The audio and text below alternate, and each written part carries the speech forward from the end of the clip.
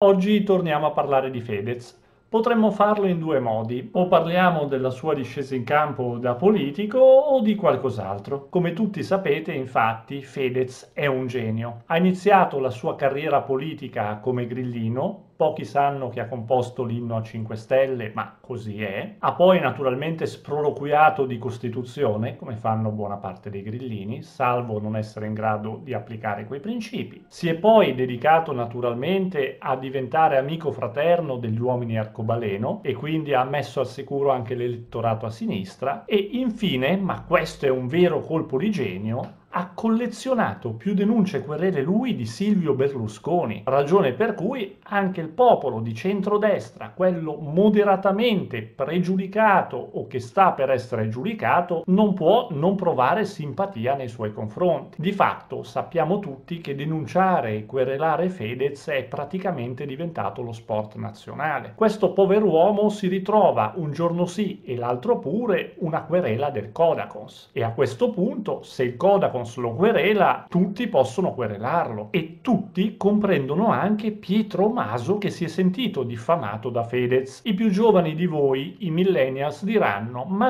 è Pietro Maso. Pietro Maso è un giovane uomo, o perlomeno era un giovane uomo, adesso ha 50 anni, che nel 1991 è finito al gabbio per aver eliminato i suoi genitori. E questa persona si è sentita diffamata da una canzone di Fedez. I miei complimenti a Fedez perché riesce a superarsi ogni volta. Tu pensi che non possa trovarsi in una situazione più ridicola della precedente? ma lui ci riesce. Come possa farlo resterà uno dei misteri della storia italiana. Fedez ormai lo conosciamo tutti. Su Pietro Maso invece sarebbe il caso di spendere due o tre parole, non troppe perché gli assassini di genitori non mi stanno troppo simpatici. Pietro Maso nasce in una situazione difficile, nasce con la meningite e ha una salute molto molto fragile. Per questo motivo non ha moltissimi rapporti con i suoi coetanei. I genitori gli vogliono tanto bene, ma curano di più l'aspetto materiale che morale e sentimentale, ragione per cui Maso, quando diventa grande, non soltanto è frustrato, ma trova conforto nei beni materiali. Lui si sente figo, fra virgolette,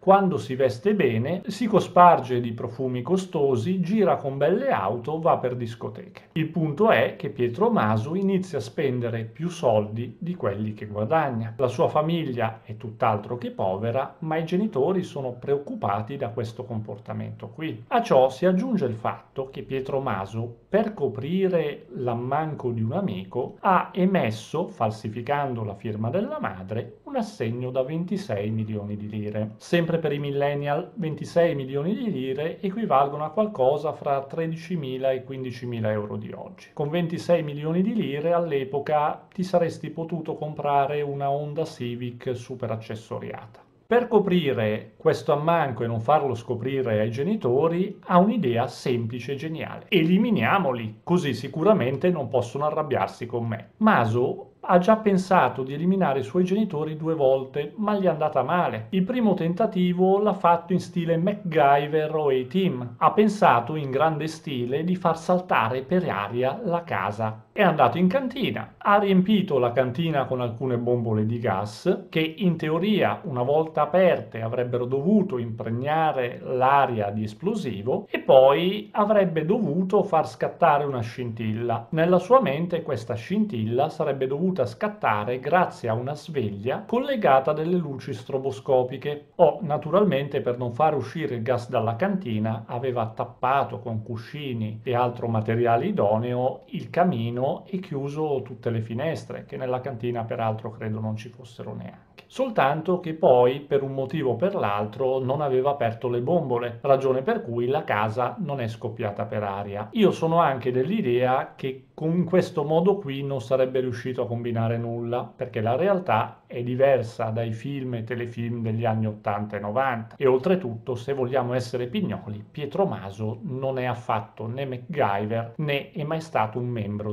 dell'A-Team. Dopo questo primo tentativo, Maso aveva pensato di compiere un delitto alla Tarantino, ante litteram, Sostanzialmente, con la scusa di dare a sua madre un passaggio in automobile, l'avrebbe attirata lontano da casa e un suo amico e complice, seduto sul sedile posteriore dell'auto con una specie di bas- arma contundente o, coltella- o coltellaccio da macellaio, non ricordo bene, avrebbe dovuto colpirla ed eliminarla appena scesa. Dopodiché avrebbero inscenato una rapina. Fatto sta che il suo amico e complice si è spaventato e non ha intrapreso alcuna azione per questo motivo la madre è scesa tranquillamente dall'auto e ignara di tutto ha fatto quello che doveva fare. Sventuratamente il terzo tentativo di solito è quello buono. In questo caso Pietro Maso aveva deciso di coinvolgere altri amici perché in gruppo si fanno le cose meglio, si era appostato con loro in casa una sera in cui le sorelle non sarebbero rientrate, ha atteso che i genitori tornassero da una cena fuori, da un incontro con gli amici, un appuntamento in parrocchia, non me lo ricordo bene, fatto sta che quando i genitori sono tornati hanno trovato la luce staccata dal box, il padre è salito per primo per poter riattaccare il contatore, una volta arrivato al piano terra è stato aggredito da Maso e dal suo migliore amico. Il padre è stato prima preso a bastonate e poi strangolato. Stessa sorte purtroppo è capitata alla madre, che è salita su a sua volta ed è stata aggredita dagli altri due amici.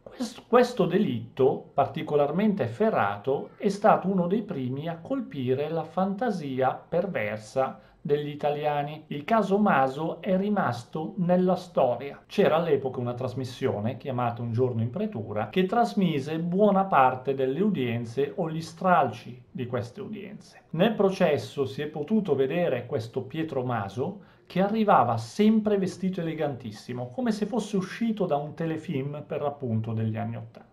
Alla fine del processo, Maso e i suoi amici sono stati condannati a 30 anni di reclusione. Dopodiché a Maso è stata riconosciuta la semi-infermità mentale e la sua pena è stata leggermente più bassa di quella degli altri, a memoria direi 26 anni. Fatto sta che durante il periodo di reclusione Maso continuava a ricevere lettere da parte di fan e di ragazzi che gli chiedevano «Sai, vorrei anch'io fare quello che hai fatto tu. Dove hai trovato il coraggio? Come ti sei preparato. E si narra anche che ci fosse una ragazza che è stata portata dai genitori a incontrarlo. Ora, io vorrei conoscerli questi genitori, se sono ancora vivi. C'è tua figlia che vuole incontrare un tizio che ha eliminato i suoi genitori, tua figlia l'adora per questo e tu la porti ad incontrarlo bravo, papà dell'anno e probabilmente il Novax del secolo a occhio e croce. Pietro Maso è poi stato scarcerato nel 2016 con qualche anno d'anticipo per buona condotta. Di fatto aveva iniziato a fare dentro e fuori dal carcere perché lavorava anche, ragione per cui di giorno usciva, lavorava, di sera rientrava. Tra l'altro ha lavorato con Telepace. Ecco, Maso è sempre stato vicino agli ambienti ecclesiastici. Da piccolino faceva anche il chirichetto. Fatto è che quando è uscito nel 2016 è stato prontamente denunciato dalle sorelle perché avrebbe tentato di estorcere del denaro da una terza persona. Tra l'altro Maso nelle intercettazioni telefoniche che sono seguite all'apertura di queste indagini pronunciava anche frasi del tipo devo finire il lavoro che ho iniziato 25 anni fa. Il riferimento, secondo gli investigatori, era per l'appunto all'eliminazione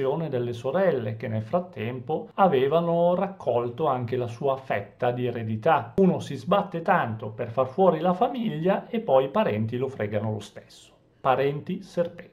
Battute stupide a parte, questa è la storia di Maso. Come contorno ci possiamo mettere anche una copertina con chi e eh, una specie di perverso successo consistente nel diventare ospite in diverse trasmissioni televisive, anche per sponsorizzare un libro che aveva scritto e pubblicato proprio in quel periodo. Fedez ha avuto l'ardire di richiamare la sua vicenda in una sua canzone che si chiama No Game Freestyle. Perdonatemi, ho usato usato il termine canzone riferito a qualcosa parlato da Fedez. Uh, mi correggo. Fedez ha fatto dei riferimenti a Maso in un suo brano che si chiama No Game freestyle. Più precisamente, Fedez ha parlato di Maso in questi termini qui. Flow delicato, pietre di raso, saluti a famiglia da Pietro Maso. La vita ti spranga sempre a testa alta come quando esce sangue dal naso. Pietro Maso non ha apprezzato particolarmente la citazione popolare e ha querelato Fedez per diffamazione perché sostanzialmente Pietro Maso afferma che la citazione di Fedez è completamente gratuita,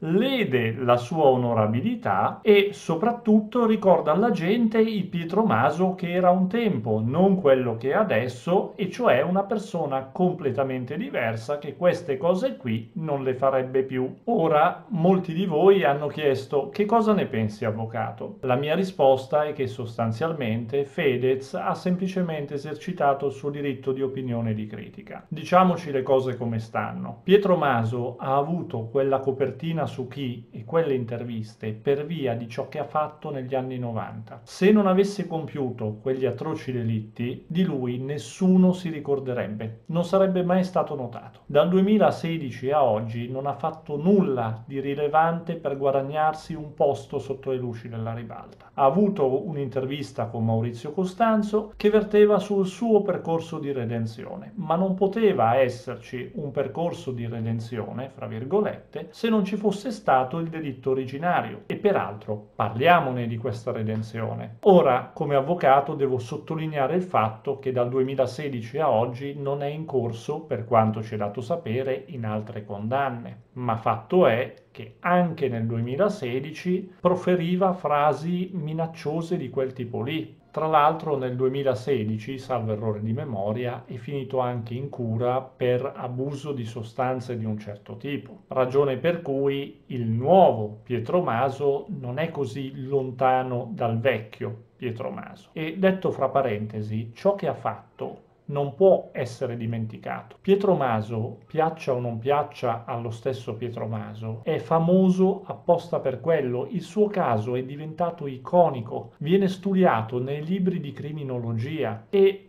la società civile, fra virgolette, lo ricorda come pessimo esempio. È con le immagini del suo processo che la mia generazione e probabilmente anche la generazione dei miei genitori ha imparato che c'erano persone disposte a fare qualunque cosa pur di avere un abito firmato. Prima di lui questa cosa si sapeva perché i mostri sono sempre esistiti, Maso non è il primo e purtroppo non è stato neanche l'ultimo, ma quelle immagini ci hanno colpito tutti. Tra l'altro avrete notato che contrariamente al solito ho tenuto un atteggiamento quasi scherzoso anche mentre raccontavo i suoi delitti. Questo succede perché istintivamente provo ancora lo stesso ribrezzo che ho provato per lui negli anni 90. Ma con questo non intendo ingiuriare o ledere l'onorabilità di Pietro Maso, intendo dare atto di un fatto. Pietro Maso ha fatto letteralmente schifo a una generazione di persone. Quel ribrezzo, paradossalmente, mi è tornato utile negli anni successivi. È tornato utile perché mi ha aiutato, in negativo, a comprendere quanto fossero importanti le figure dei genitori e degli anziani in genere e di quanto, al contrario, fosse inutile avere un bell'aspetto, beni costosi o di lusso. Un bell'abito o un'auto sportiva non dicono nulla di te, non ti descrivono non ti rendono migliore. Maso aveva queste cose ed era il peggiore individuo che si potesse incontrare negli anni 90. E tra l'altro lui aveva colpito a tradimento le persone che gli avevano dato la vita, che lo avevano cresciuto e gli avevano dato tutto quello che poteva desiderare. Tuttavia Pietro Maso ha fatto anche capire che i genitori e gli anziani sono persone vulnerabili che devono essere protette